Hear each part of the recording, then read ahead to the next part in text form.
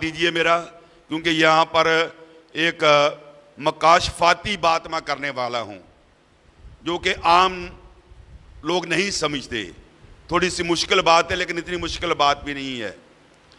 पानी का ज़िक्र जब हम करते हैं तो अगर आप इबार की किताब पढ़ें, सोलह बाप तो सरदार कैन हारून को यह हुक्म था कि वो दो बकरे ले और एक मेंढा ले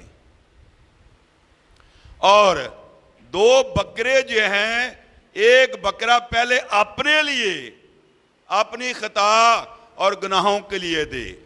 और दूसरा बकरा जो है, उस पर हाथ रखकर और तमाम कौम बनी इसराइल के पढ़ ले घर जाके पूरे चैप्टर को, उस पर हाथ रखे तो वो उसके तमाम कौम के गुनाह उस बकरे पर क्या हो जाएँगे? ट्रांसफ़र हो जाएँगे। और उसको हम इंग्लिश में कहते हैं स्केप गोट यानी उसको फिर बियाबान में छोड़ दें।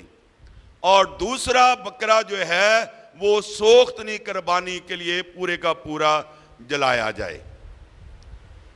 तो अब बात मैं ये करना चाहता हूँ, ये एक मकाशफा था, जो पुराने अहदनामे में पहले से बताया गया।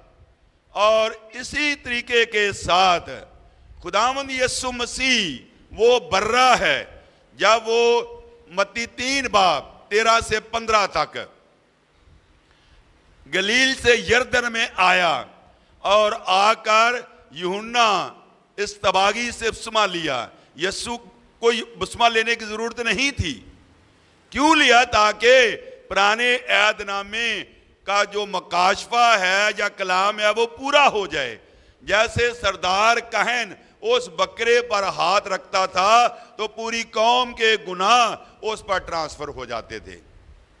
तो इसी तरह जब यस्सु पर यूना इस्तबागी जो है, ये सरदार हरून हरून हरून की फैमिली में से हैं और वो पूरी नए इंसान का नुमाइंदा होकर जब उसने यीशु मसीह पर पानी डाला और उसके सर पर हाथ रखा तो पूरी दुनिया के गुनाह उस पर ट्रांसफ़र हो गए।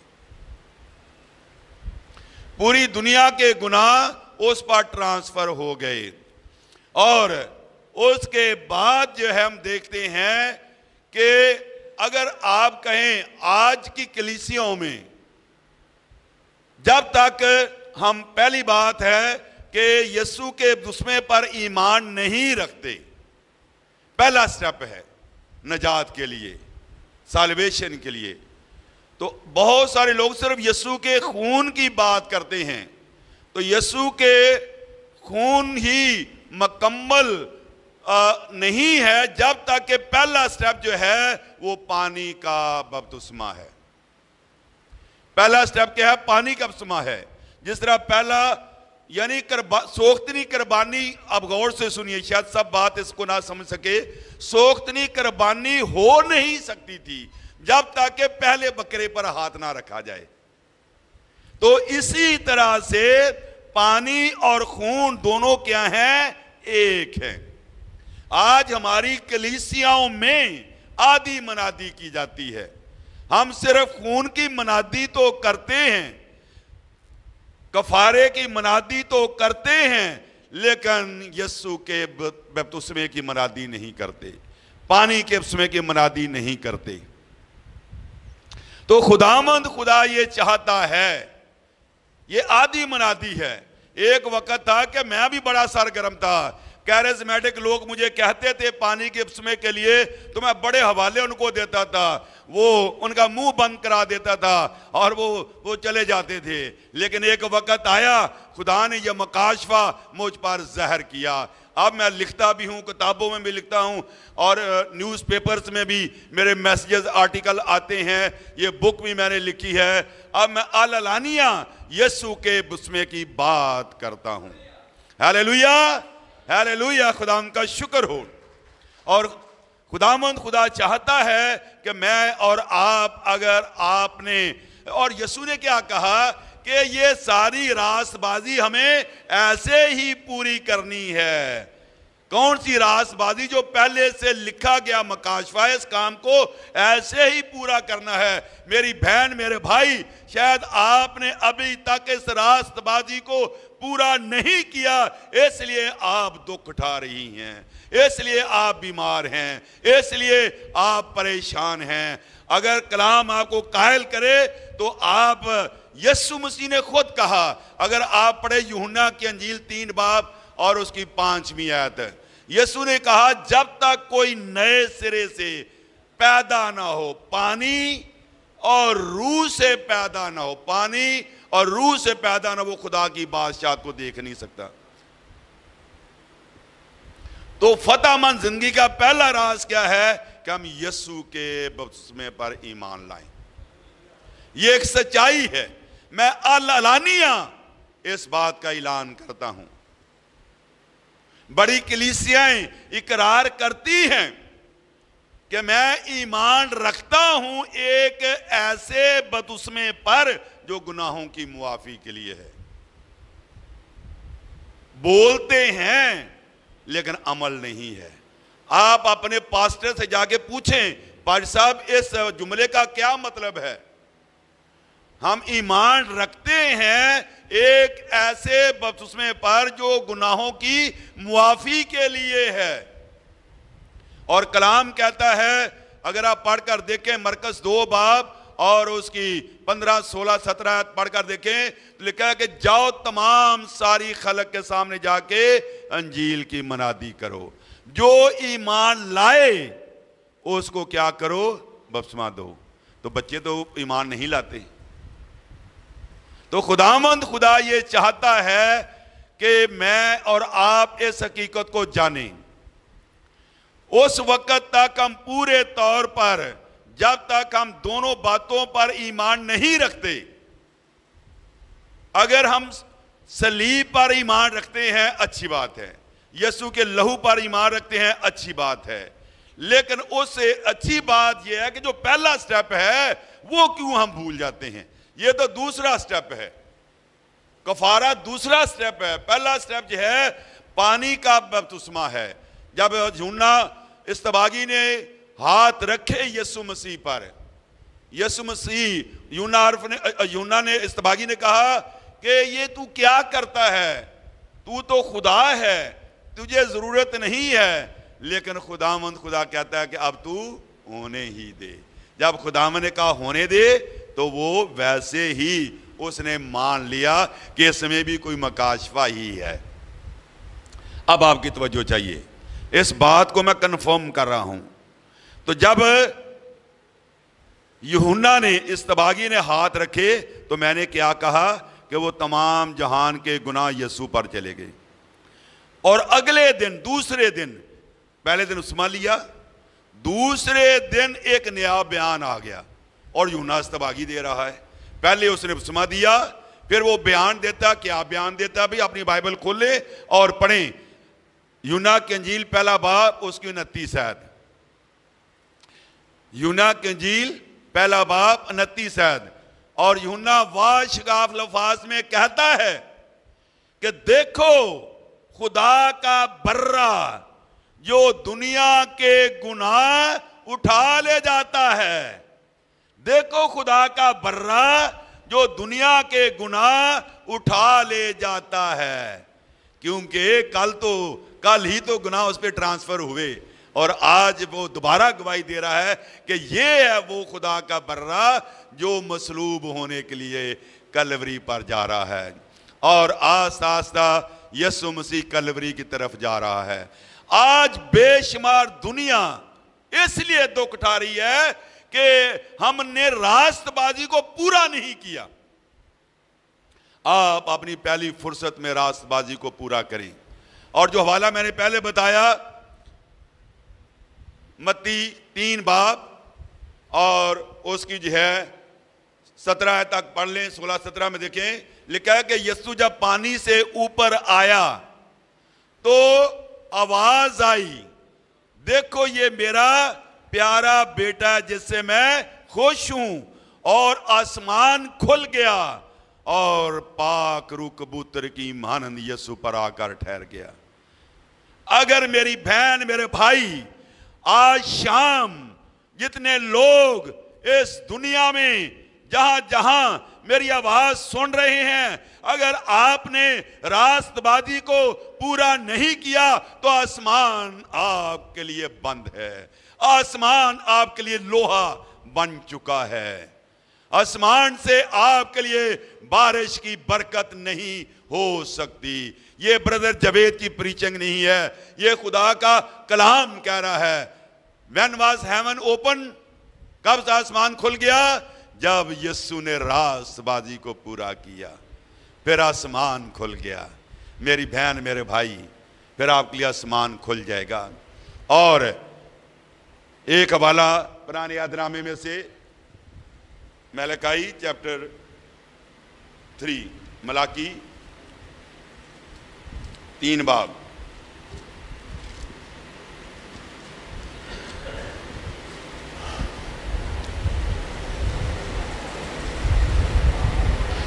उसकी आठवीं आय से मैं पढ़ता हूँ। Page eight nine three, eight hundred ninety three. क्या कोई आदमी खुदा को ठगेगा, पर तुम मुझको ठगते हो?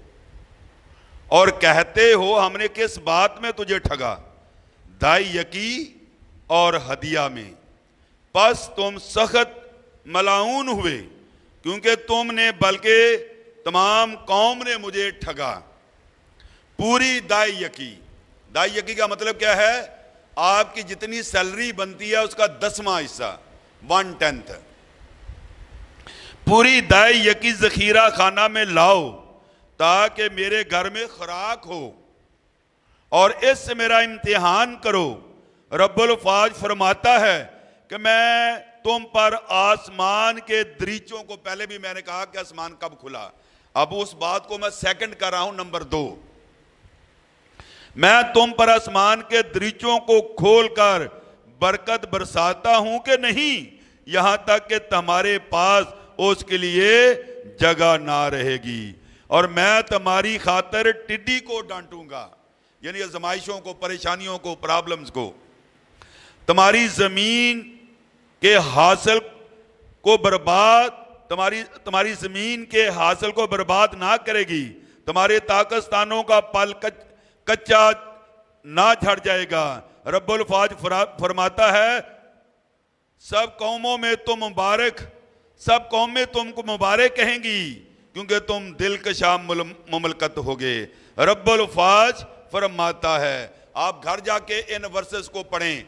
तो मैंने बताया कि नंबर वन, जब हम रासबाजी को पूरा करते हैं तो खुदामंद हमारे लिए आसमान खोलता है।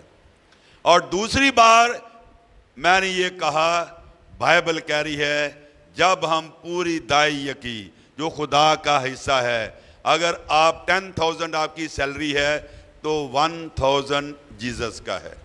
वो खुदा का है, वो आपका नहीं है। अगर आप उस पैसे को खा रहे हैं तो आप खुदा के कानून को तोड़ रहे हैं।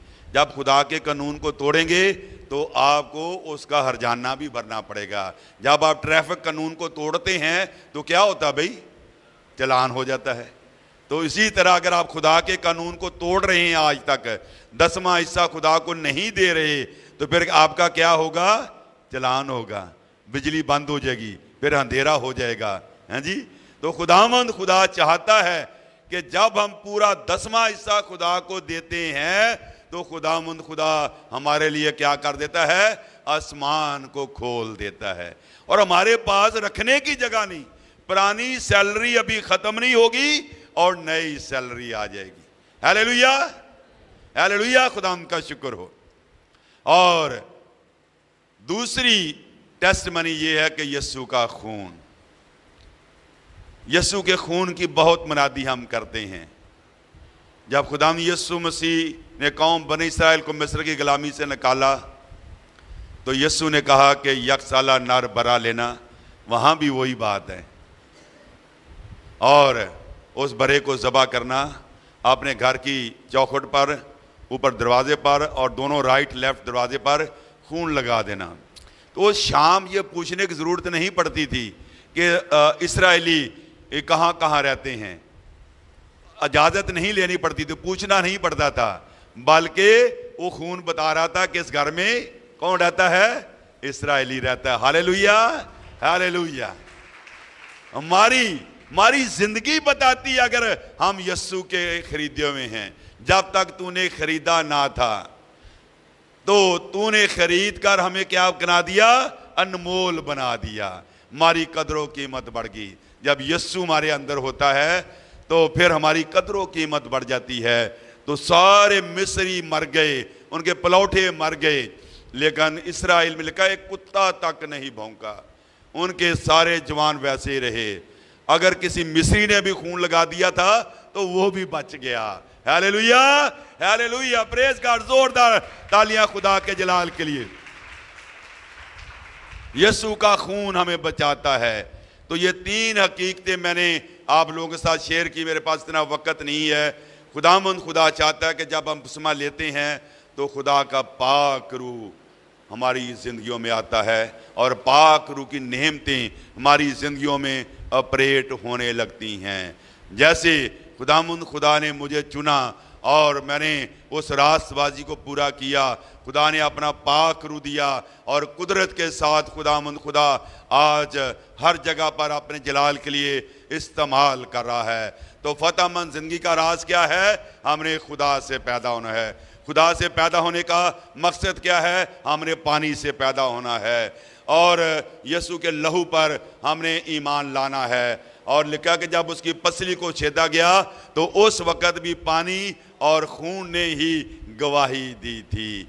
और खुदामंद, खुदा चाहता है, अगर आज आप फतेहमंद ज़िंदगी बसर करना चाहते हैं तो फिर आज इस रास्तबाजी को पूरा करें। शायद हो सकता है कि आपने आज तक इस रास्तबाजी को पूरा नहीं किया और आपने पूरी दाई यकी खुदामंद को नहीं दी तो आप भटकते फिर रहे हैं। आप परेशान हैं, आप बीमार हैं, आपके हालात जो है घर के जो है वो बिगड़े हुए हैं। घर से बीमारियाँ दूर नहीं होती, बदरूहें दूर नहीं होती, प्रॉब्लम ख़त्म नहीं होती। तो आज मेरी बहन, मेरे भाई, क्योंकि लिखा है कि जब तुम कलाम से वाकफ़ होगे तो कलाम तुम सच्चाई से वाकफ़ होगे तो सच्चाई तुम्हें आज़ाद करेगी। यूना कंजील आठ बाप उसकी बत्तीस शहद सच्चाई मैंने बयान कर दी है। और आप पानी के यसु मसीह के पानी के उसमें पर ईमान लाएँ यसु के खून पर ईमान लाएँ, और पाक रू पर ईमान लाएँ तो आप दुनिया दुनिया आपके पाँव के नीचे होगी। अबलीस आपकी एड़ी के नीचे होगा। खुदा हम सबको बरकत दे। आमीन। आइए हम